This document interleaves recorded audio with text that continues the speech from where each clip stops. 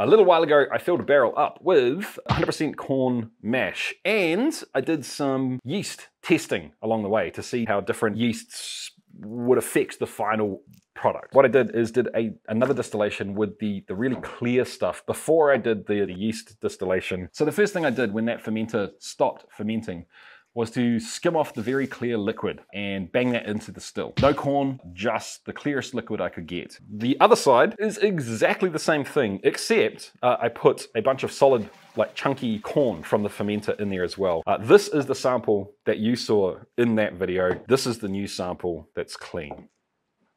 The clean version completely different. Wow, this is grungy and dark and deep and funky, like a grumpy teenager.